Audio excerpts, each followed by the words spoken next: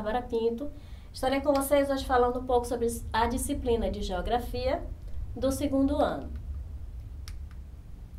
O roteiro de hoje é Direito a uma moradia, as moradias não são iguais, a construção da moradia, os cômodos de uma moradia, meu endereço é consumo racional de energia. As moradias. As moradias, esse nome tem vários sinônimos, tipo casa, residência, lar, fique ligado. Mas as pessoas, elas precisam de um lugar onde possam morar, comer, tomar banho e brincar. Esse lugar é moradia, ou seja, é a sua casa, é o seu lar, é a sua residência, que também é chamada de residência ou de lar. Direito a uma moradia. Todas as pessoas, elas precisam de uma moradia que atenda às suas necessidades. As moradias, elas podem ser muito diferentes, mas todas devem garantir a proteção às pessoas. No entanto, há várias pessoas que não têm moradia. Muitas delas vivem em abrigos ou nas ruas. Há um exemplo, é o morador de rua. As moradias, elas não são iguais, elas se diferem, porque existem vários tipos de moradias: casas térreas, sobrados, edifícios ou prédios, barracos, ocas, palafitas, casas de pau a pique. Estranho, né? Mas a gente vai descobrir um pouquinho como é que é. O cimento, o bloco de concreto, o tijolo, o vidro, a madeira, o ferro, o barro amassado, a palha, os galhos e os troncos de árvore são também materiais usados na construção de moradias.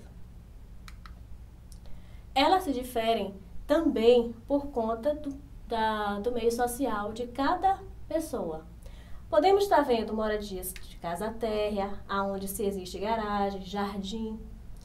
Outras, aqui é a casa de palafita. Por que isso? Esse tipo de casa é mais comum na região norte, lá na Amazônia, no Pantanal, devido à grande quantidade de água que se existe, onde eles colocam esses paus, essas madeiras, aqui é justamente para quando o rio encher, não chegar à sua residência ou ao seu lar, não serem alagados. Aqui temos aqui o típico a oca, aonde os índios têm esse hábito de estarem aqui no seu ambiente natural. A casa de pau a pique. Por que casa de pau a pique? Porque justamente aonde se tem esse barro, onde ele é amassado e impresso em meio a essas madeiras intercaladas aqui entre eles, né? E aqui nós temos uma, uma residência bem praticamente bem luxuosa, né? Que é um sobrado, onde também temos uma vegetação, garagem, né? Tem também uma vegetação fora, o jardim. Aqui nós já temos um barraco, que é feito por madeiras, aonde o material de construção principal é a madeira. Temos também os prédios, aonde são locais onde várias famílias se reúnem em um prédio, em cada andar. A construção da moradia. Existem muitas maneiras de construir uma casa para morar.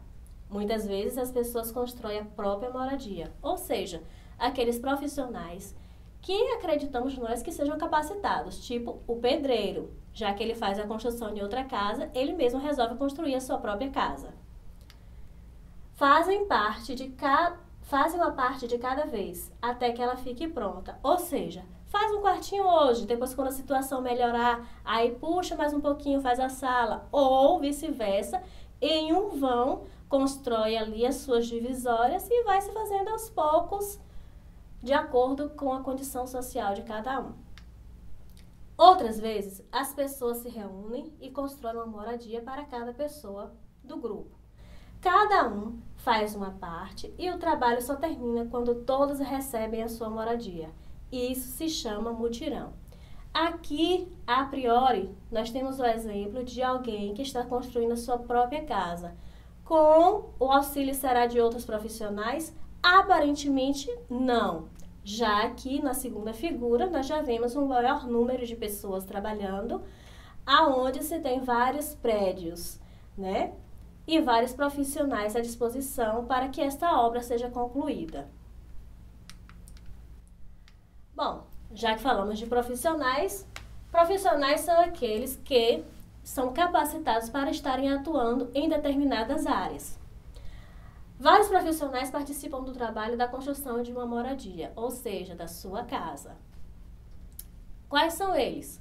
O arquiteto. O que, que ele faz? Isso mesmo, ele faz a planta.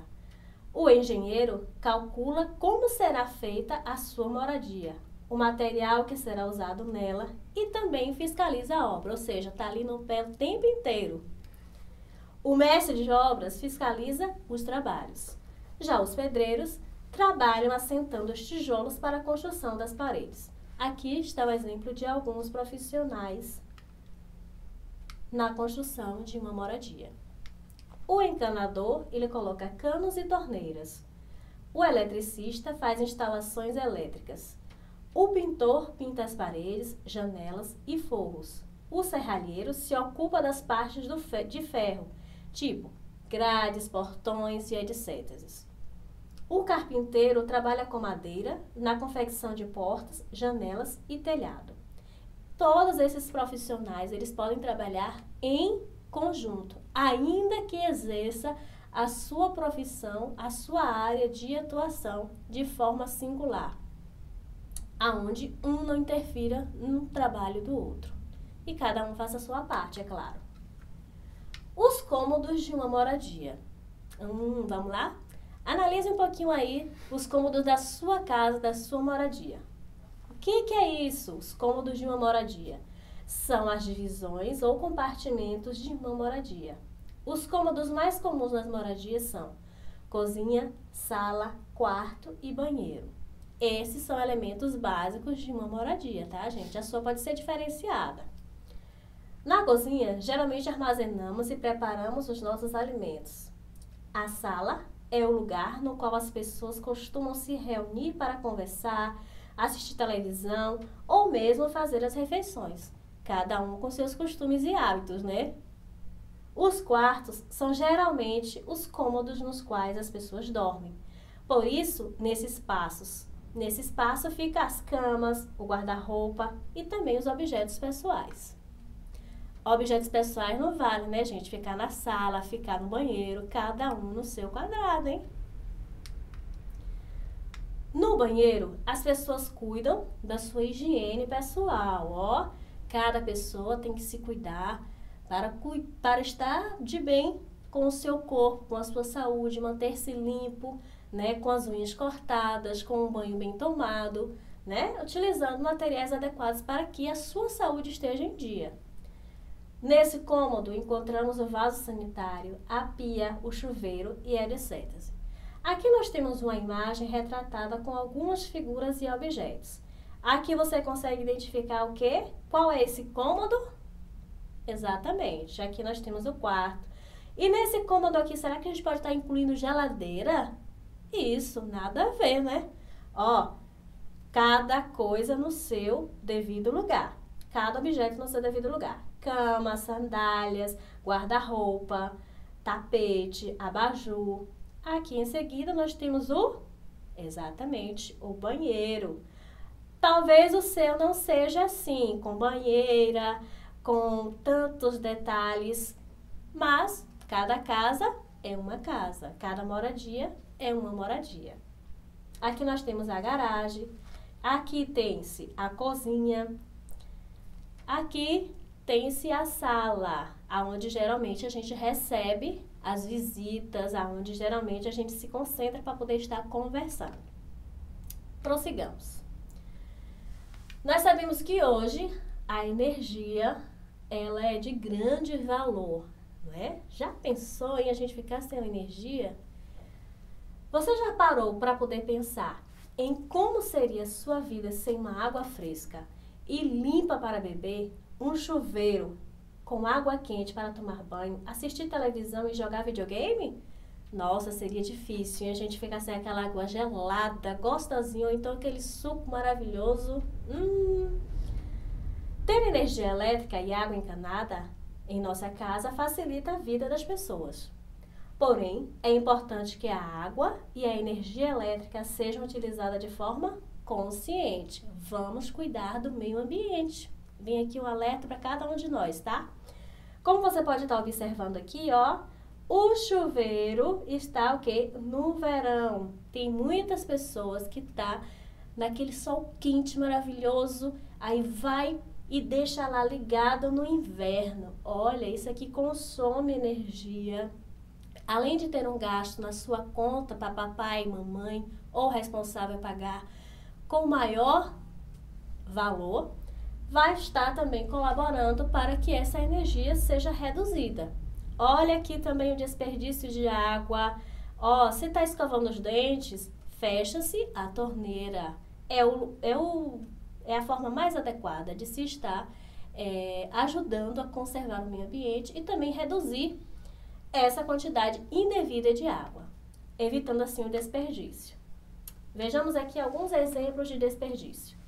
Deixar a geladeira aberta enquanto você escolhe o que vai comer que vai querer. Já pensou, você está naquela dúvida, ah, eu acho que vou comer aquele sanduíche, vou fazer isso, vou fazer aquilo. Olha, quanto mais tempo você estiver com a geladeira aberta, maior tempo, maior valor na sua conta para mamãe, para papai e para responsável estar pagando. Ó, já vai pensando naquilo que você pode estar se alimentando, para que não fique perdendo tempo com essa abertura de geladeira pois a geladeira, o chuveiro elétrico são elementos que mais consomem energia dentro da sua casa. Aqui, olha que coisa, olha gente, eles estão brincando, vendo jornal e a televisão, ela está o quê? Desligada. Muito bem, ela está aqui de forma consciente em um ambiente aonde ela não é o destaque do momento, ok? Bom, Vamos falar agora um pouco sobre o meu endereço é. Já que nós temos uma moradia, nós temos uma residência, precisa-se de um endereço, um lugar para qual a gente precisa estar ciente da onde que é. As moradias, ela tem um endereço que as localiza na cidade em que estão. Observe as informações que constam no endereço. Então, se você tem um endereço, lógico, você tem o quê? O nome de uma rua, avenida ou praça aonde está localizada a sua moradia. O número da moradia. Já pensou se não tivéssemos nome de rua ou números específicos em cada lugar, em cada cidade, em cada região? Seria muito difícil a gente poder estar é, chegando até a sua casa, certamente. Bom, se for apartamento, o número e também o bloco. O CEP. O que, que é isso? CEP é o código de endereçamento postal. Temos também o bairro, porque afinal de contas, se nós estamos em uma cidade, temos vários tipos, vários bairros, né? E temos que especificar ali certinho. Temos uma cidade específica e temos também um estado, que difere de um estado para o outro. Ah, mas essa, esse nome de rua pode estar, o nome da sua rua pode estar constando no endereço de uma outra pessoa em uma outra cidade? Sim, às vezes sim, às vezes isso pode acontecer. Mas vai diferenciar o estado, a cidade, o número da casa. Fique bem atento, hein? E também o país. Cada um deve saber o endereço da sua moradia. Portanto, é importante saber o nome da rua mais próxima ou lugar conhecido, como um supermercado, uma padaria ou um ponto de ônibus. Esses daqui, ó, tipo um supermercado, a padaria, um ponto de ônibus, são alguns pontos de referência do seu interesse. Ah, a minha casa, talvez você não lembre, talvez você possa se perder em algum momento da tua vida, da, do, da pessoa que, que, que você esteja acompanhando e de repente você lembra que próximo à sua casa tem uma praça. Isso vai facilitar muito quem puder estar encontrando você. e está dando essas, essas referências para que você possa encontrar o endereço adequado. Então, isso aqui é bastante importante a gente estar sabendo.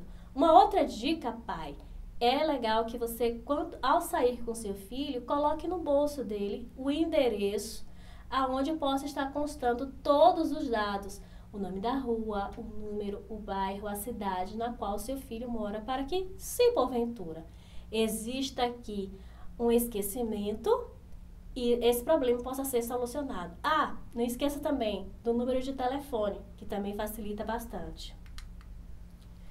Bom, agora é com você.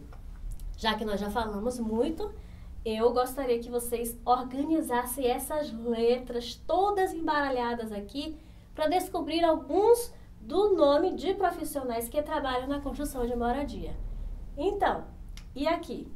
Esse primeiro. Será que você já descobriu? Ah, essa é fácil, né? Exatamente, pedreiro. A letra B. Ah, deu um pouquinho de trabalho, né? Mas eu sei que você conseguiu. É isso mesmo, engenheiro. A próxima. Exatamente. Perfeito, o encanador. A outra? Exatamente, muito bem. Agora eu quero que vocês respondam essas questões. Quantos e quais os cômodos de sua casa? Será que na sua casa tem quatro cômodos, tem dois cômodos? Enfim, essa resposta só você pode responder. Em que cômodo da sua casa você gosta de ficar mais tempo? Olha lá, hein? Será que é a cozinha você gosta de comer muito? Será que é a sala que você gosta de ficar bem à vontade com televisão maior? Hum, essa aí é com você, hein? Agora eu quero que você justifique. O que, é que significa justifique? Você me escreva o porquê que você escolheu este cômodo específico que você mais gosta, tá bom? Complete as frases abaixo. Esse aqui não tem como você errar. Tomamos banho no lugar certinho, hein? Exatamente, é no banheiro. Fazemos a comida na Olha, nada de estar tá guardando alimento no quarto, hein? Isso aí pode estar tá dando baratas, ratos em lugares indevidos. Olha, não coloque esses, esses tipos de alimento dentro do seu quarto. Armazene sempre no lugar e no local correto, tá bom? Exatamente, nós fazemos a comida na cozinha. Nós dormimos no? Ah, tá bom. Às vezes você costuma também dormir na sala, né? Vendo televisão. Ah, tá certo. Reunimos-nos com os nossos familiares na? Exatamente, na sala. Perfeito. Agora quero que você faça um desenho bem bonito da sua moradia. Olha lá, faz num capricho, hein? Porque afinal de contas, a criatividade é pessoal e você sabe como é a sua casa. Vamos agora escrever o endereço Olha, você ficou bem ligado nas dicas, hein? Muito bem. Escreva o nome da rua, o número, se é casa, se é apartamento. Isso. O bairro, a cidade, o estado, o país e também o CEP, que é o código específico de cada cidade. E agora, cada rua tem o seu número de CEP. Aqui, pelo menos em nossa cidade, é assim que nós estamos é, vivenciando. Ah, aqui vem a questão de número 5. Você já mudou de endereço alguma vez? Se você já mudou, como é que foi essa experiência? Foi legal? Foi ruim? Ficou com saudade de algumas pessoas? Hum, escreve aí, vai. Isso. Escreva uma palavra de cada cômodo que tenha em sua casa. Olha lá, pensa direitinho. Você pode escrever alguma coisa que você gosta mais, tipo na sala, tipo no quarto, na cozinha, no banheiro. Essa resposta é com você, tá bom? Marque o X nas frases corretas com atitudes positivas que envolvem desperdício de água e energia elétrica. Atitudes positivas são aquelas atitudes que vale a pena a gente estar tá seguindo, tá certo? Deixar o chuveiro ligado enquanto se saboa? Não, nada a ver, né? Olha, quando você está prestes a tomar o seu banho, você vai, tira sua roupa, entra no chuveiro, abre, abre, deixa a água ali está molhando o seu corpo, em seguida você fecha. Coloca o sabão, ó, e vai passando em seu corpo. Em seguida você, ó, desliga. Depois que você passar no seu corpo o sabão, de sua preferência, você liga e se enxágua. Então, essa aí é uma, é uma, uma atitude positiva? Não, né? Claro que não. Então, você não vai estar marcando o X. Deixar a torneira fechada enquanto se escova os dentes é uma atitude positiva? Claro. Justamente, ao você tá ali escovando os dentes, você não precisa estar com a torneira ligada.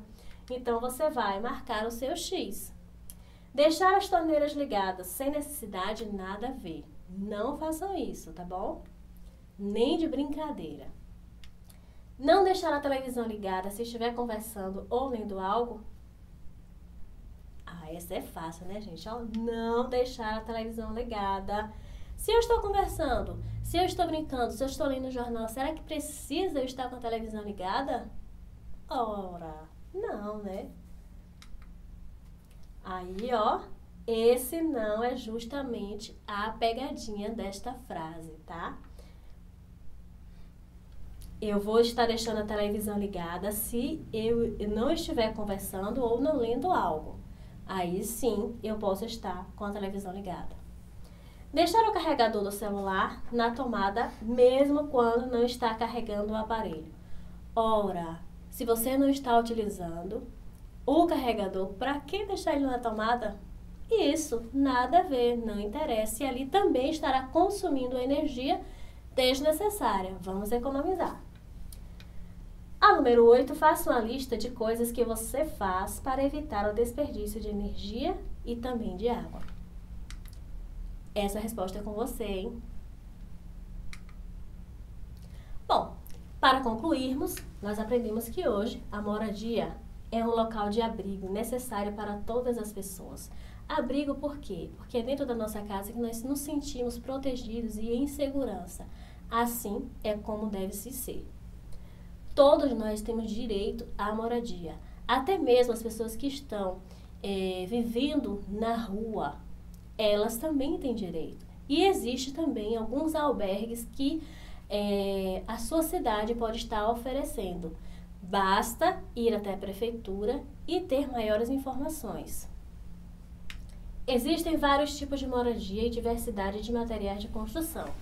Como nós vimos, tem material, tem algumas moradias feitas com tijolos, já tem umas, algumas outras de barro, já tem algumas outras de palha, já temos algumas outras. É... Lembra aí? É, é, é isso aí mesmo. A importância dos profissionais adequados na construção de moradia. Ou seja, nada de colocar pessoas inadequadas para estar cuidando da construção da sua moradia. Profissionais adequados atuando na área certa, aí sim vale a pena. Reconhecer os cômodos de uma casa e os seus objetos adequados. Ou seja, olha se eu estou na sala, somente objetos que fazem parte, que compõem ao cômodo da sala. Nada de colocar geladeira na sala, nada de colocar é, cama na sala, nada a ver. Consumir energia e água de forma adequada para o bem-estar social e mundial a todos nós, porque afinal de contas, nós nós agradecemos e também o meio ambiente agradece, porque a escassez está tamanha. Vamos cuidar dele. Identificar as informações que compõem o endereço. Não esquece para não ficar perdido, hein? Aprende bem rapidinho. Aqui nós temos as referências bibliográficas para esta, para esta explanação de assunto. Nós utilizamos a coleção Eu Gosto Mais, da coleção IBEP, né? E demais referências. Por hoje é só e até mais.